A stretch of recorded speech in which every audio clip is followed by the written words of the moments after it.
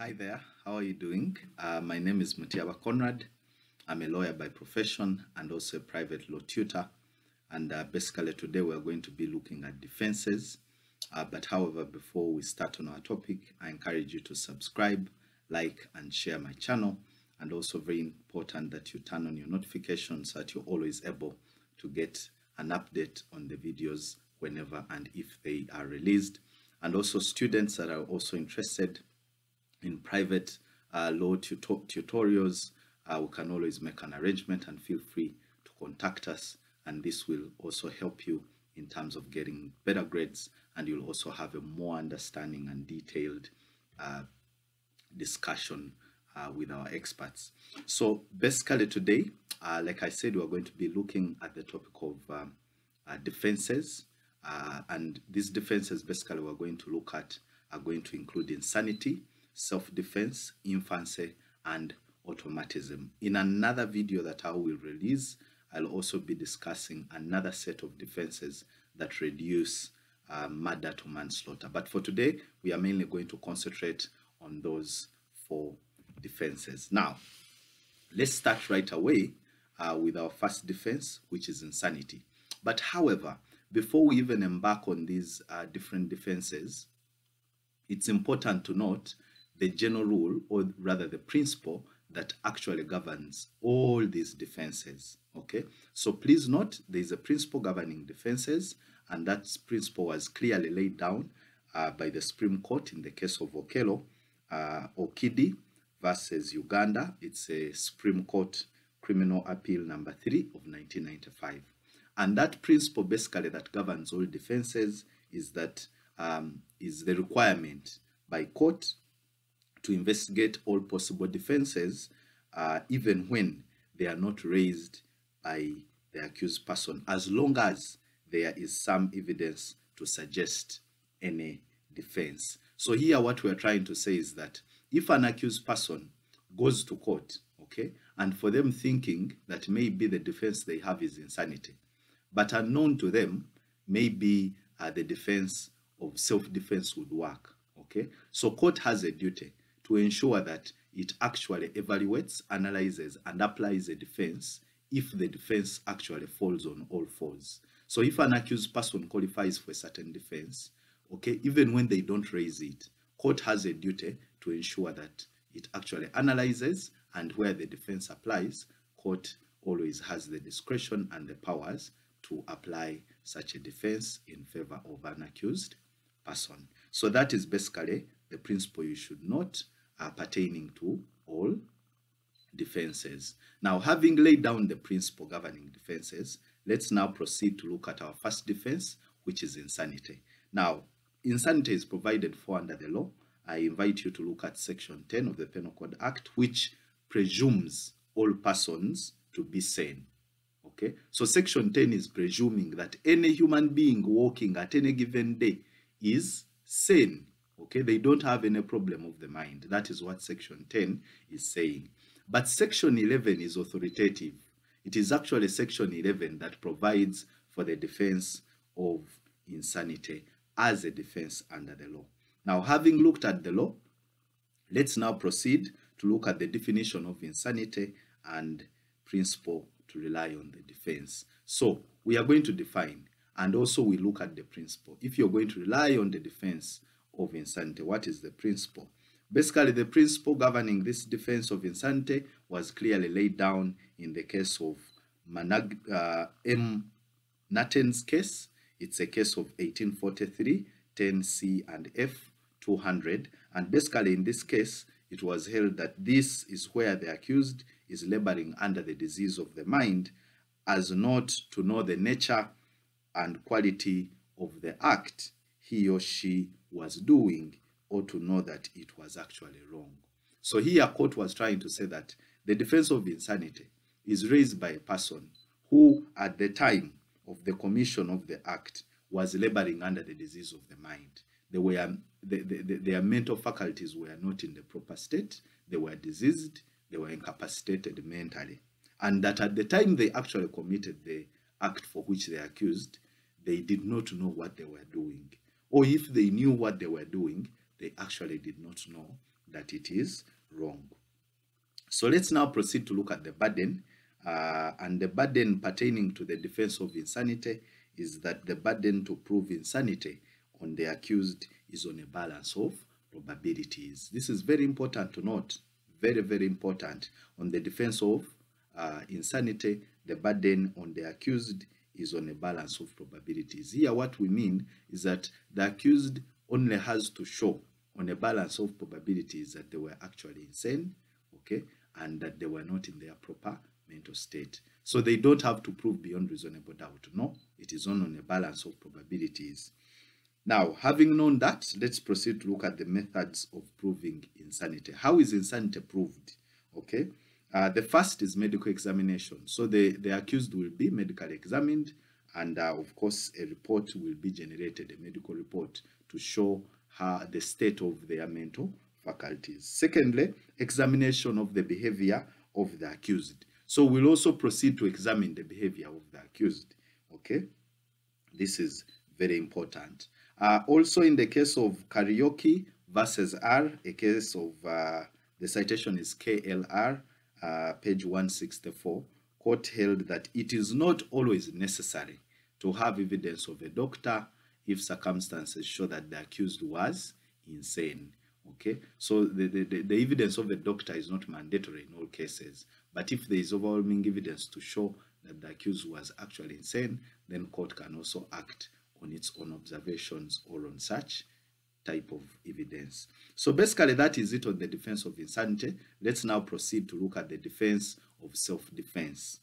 Now this defense is provided for by law and I encourage you to look at section 15 subsection A of the Penal Code Act which provides for that defense or the defense um, of uh, the defense of uh, the, the, the defense that applies to, to persons. Now, important to note on this defense is that uh, uh, the defense allows one to use reasonable force in three circumstances. Okay, so you're allowed to use reasonable force in self-defense in three circumstances. The first circumstance is in self-defense, when you're defending your own self. Okay, thirdly, in preventing an attack on another person. So another person could be under attack. The law allows you to use reasonable force to ensure that you prevent that attack from being executed against another person. Then lastly, defense of property. So you can also use reasonable force to defend either your property or another person's property. This is allowed. Let's now look at the definition of self-defense. And uh, this is defined very clearly in the Black's Law Dictionary, 9th edition, page 1481, which uh, defines it as the use of force to protect oneself one's family or one's property from a real or threatened attack. So important to note it should either be real or a threatened attack. Let's proceed to look at, um, at the aspect. Now we are going to interrogate those three circumstances slightly more in detail. And the first one we're going to look at is preventing an attack on another. What is the law? Look at the case of Ara versus Rose, a case of 1884 15 COX 540 and in that case the accused shot his father while he was attacking the accused's mother. He was acquitted uh, uh, he was acquitted from murder on the grounds of self-defense. So I think we are seeing how the defense operates. Let's now proceed to look at the ingredients to self-defense. So if you're going to rely on self-defense, there are some ingredients that you must prove and these were clearly laid down in the case of Uganda versus Kamyuka. It's a case of 2018 UGHCCRD page 140 and uh, basically here court laid down those ingredients as follows. One, there must be an attack on the accused person or a close relative. Secondly, the accused must, as a result, have reasonably believed that he was in imminent danger of death or serious bodily harm. So the accused has to prove that if they are really going to rely on this defense. And then number three, the accused believed it necessary to use force to repel or to repel the attack. Then lastly, the force used by the accused must be such force as the accused believed on reasonable grounds to have been necessary to prevent or resist the attack. Okay, very important. Also, it's important to note, as was held in the case of Uganda versus Kamyuka, the case that I just gave you, a case of 2018, that in determining reasonable force, regard must be put to all circumstances of the case. So here what we mean is that if court is evaluating to draw itself to the conclusion that there was a reasonable force, it should consider all the circumstances that were surrounding the case and all the surrounding uh, the surrounding different uh, scenarios and what was actually going on and the state at that material time.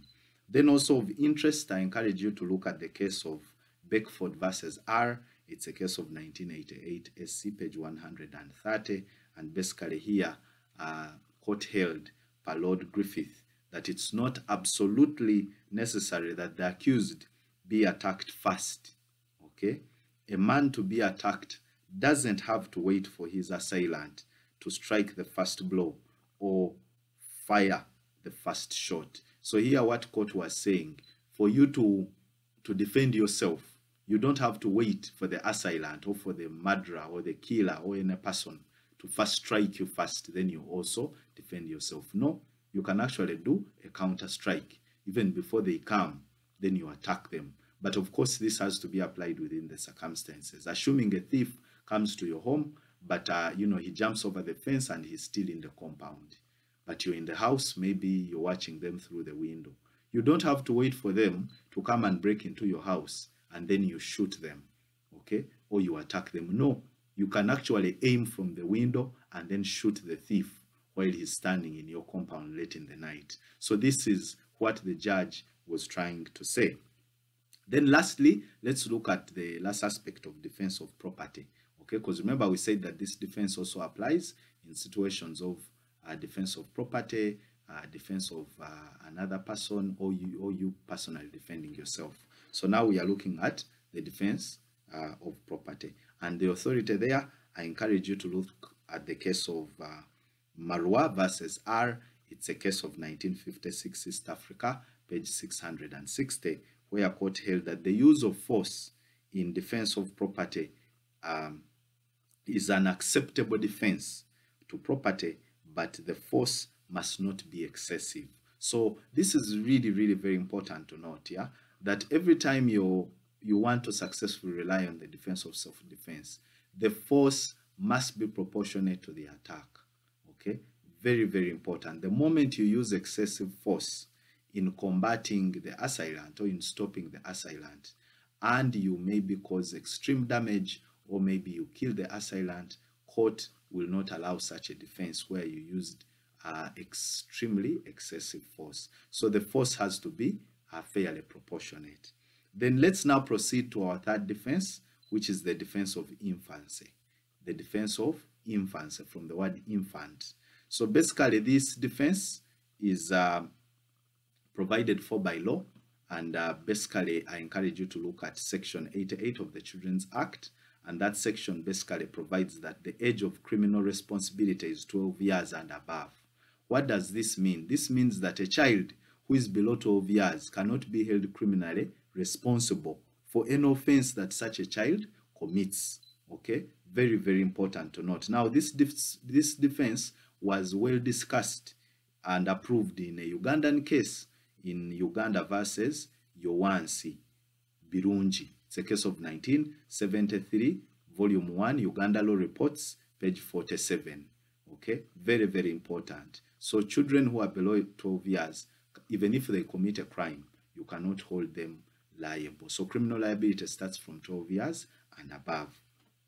Let's now proceed to look at our final defense in this video, and that is the defense of automatism. The defense of automatism.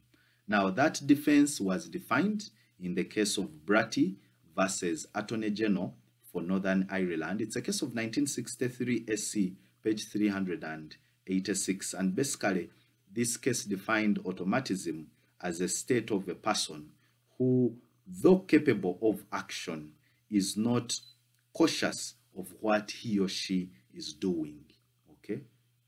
In summary, automatism is an unconscious involuntary action. Unconscious involuntary action.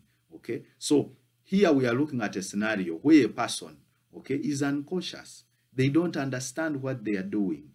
And therefore they make certain actions involuntarily, unknown to them, or not them wanting to do such actions, but they end up doing them. And they are doing such actions in an unconscious manner and they are not doing them in a voluntary manner. A good example is, for example, someone could sleepwalk. Someone could wake up from their bed late in the night. Okay, then they move out of the house. Then they go maybe and then they kill someone. Okay, they are in a state of automatism. They are unconscious. They don't understand what they are doing and the action of moving out and going to kill another person must have been involuntary. Okay? It must have been involuntary. And such a person must have been in an unconscious state. They did not understand what they were doing, the so called sleepwalking. Okay? You wake up from your bed, you move out, you go, you do something, maybe you come back in your bed and sleep, and then the next morning you don't remember anything. You were uncautious and the actions you did were involuntary okay? So basically that is what automatism is about.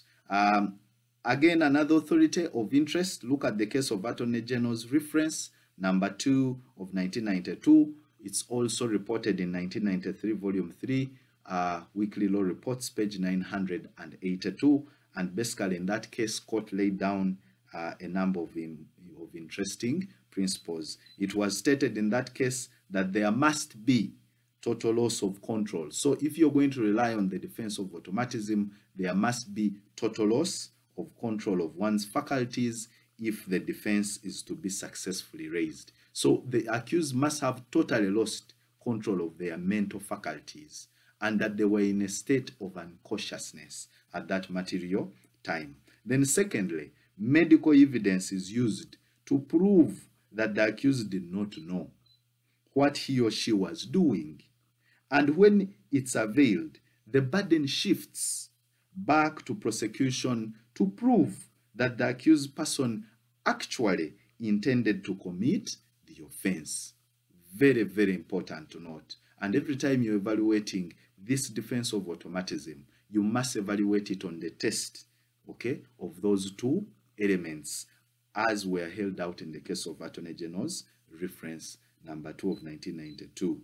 Let's now proceed finally to look at the limitations to automatism.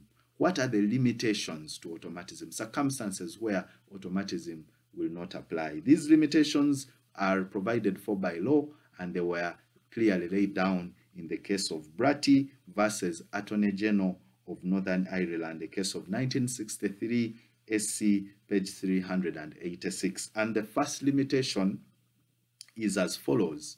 One, where automatism is caused by the disease of the mind. Okay, where automatism is caused by the disease of the mind. Secondly, when it's caused by self-induced intoxication. Okay, if it is caused by self-induced intoxication, even if it happens, that will be a limitation to its applicability. Number three, where it's caused by other factors other than drink or drugs.